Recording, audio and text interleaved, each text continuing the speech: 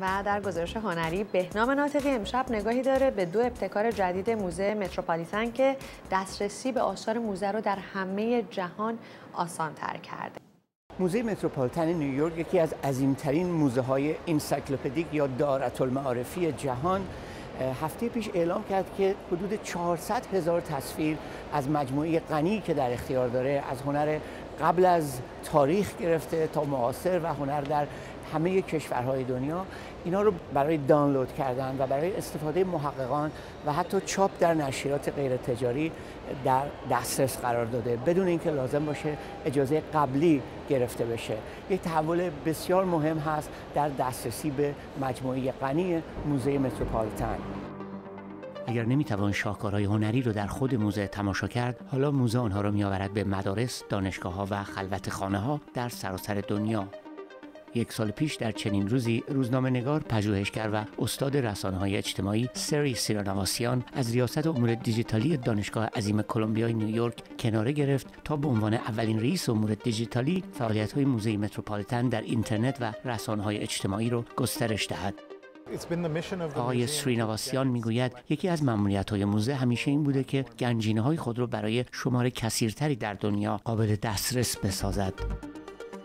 از مجسمه های سنگی ایران باستان گرفته تا نقاشی های امپرسیونیستی ونگو یا تصاویر رویایی دگا از رقصندگان آثار برجسته رامراند وبسایت موزه متروپالیتن مثل خود موزه غنی و شگفتی برانگیز است.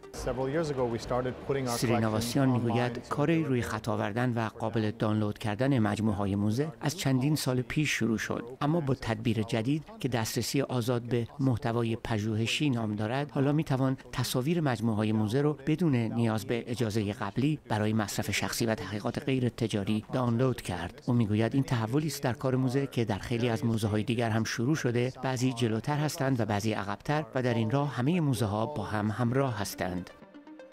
جستجو در سراسر آرشیو اینترنتی عظیم موزه متروپالیتن برای پژوهش یا حتی برای تفریح کار آسانی است. برای این کار باید از طریق فصل مجموعه ها Collections وارد شد و بعد جستجو کرد. از طریق وارد کردن اسم یک هنرمند یا اسم یک تابلو یا واژه های مربوطه دیگر. مثلا این نقاشی های شاهنامه شاه تهماسبی است که بیش از 70 صفحه از آن در گنجینه بخش اسلامی موزه قرار دارد. تصاویری که از این طریق به دست میآیند بسیار بزرگ و حجیم هستند و می‌توان با زوم کردن در آنها جزئیات دقیقی از نقاشی رو دید مثل اینکه مثلا مینیاتور رو بگذاریم زیر ذره به خاطر استفاده از نرم افزارهای پیشرفته تصویری می توان روی جزئیاتی از تابلوها دقیق شد که حتی وقتی جلوی اونها در موزه ایستاده ایم هم راحت به چشم نمی آیند مثل نقش قلموها یا برجستگی رنگگذاری یا حتی ترک های گوشه و کنار آثار قدیمی هرچند بیش از 400 هزار اثر حالا از طریق این گنجینه عظیم اینترنتی در دسترس همگان قرار گرفته اما بسیارند آثار برجسته و مشهوری در موزه که تدبیر دسترسی پژوهشگرانه آزاد شامل حال آنها نمی شود.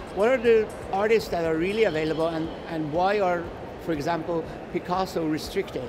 Well, what we want to do is to be very aware and careful with آقای سیرنواسیان می‌گوید بخش اعظمی از کل مجموعه موزه شامل قانون حق معلف نیست و بنابراین قابل دانلود است. اما در میان آثار مجموعه بعضی به خصوص در بخش هنر مدرن و هنر معاصر حق معلف دارند. این آثار برای دانلود قابل دسترسی نیستند.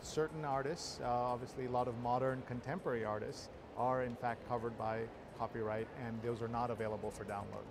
وبسایت موزه که جهانی است از خود موزه که محلی است مراجع بیشتر دارد. مدیر امور دیجیتال موزه متروپالیتن می‌گوید سالانه 6 میلیون نفر از موزه متروپالیتن دیدن می کنند ولی وبسایت سالانه 40 میلیون کاربر دارد یا 24 میلیون کاربر یگانه از 200 کشور جهان.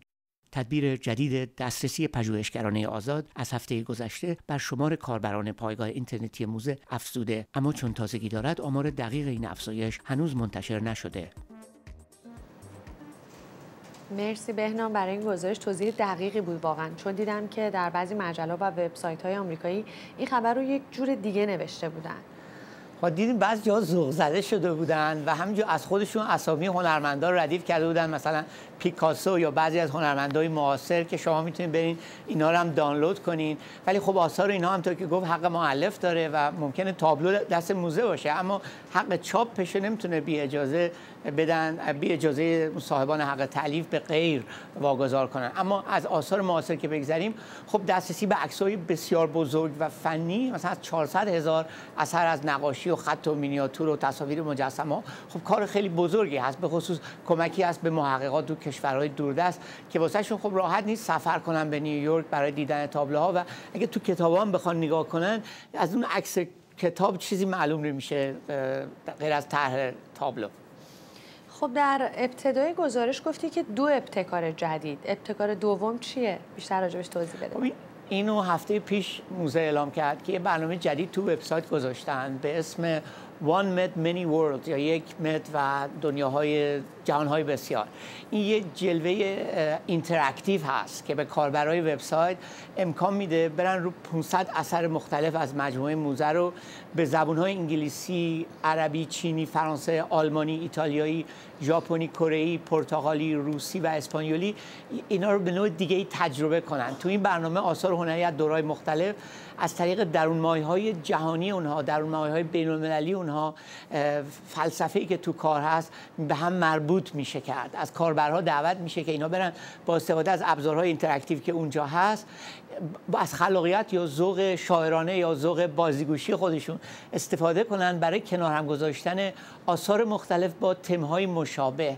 این ابتکار در واقع قرار دادن یک ابزار اینترنتی جدید هست در اختیار کاربران وبسایت موزه که می‌تونن برن و یک تجربه تازه‌ای داشته باشن. یک چیزی هم از خودشون در واقع بذارن روی وبسایت. که این مختص به دنیای مجازی هست و نقش و فکری خودم می‌تونه به, آثار موزه استفاده کنه با مربوط کردن کارهای مختلف به همدیگه و یک کلمه.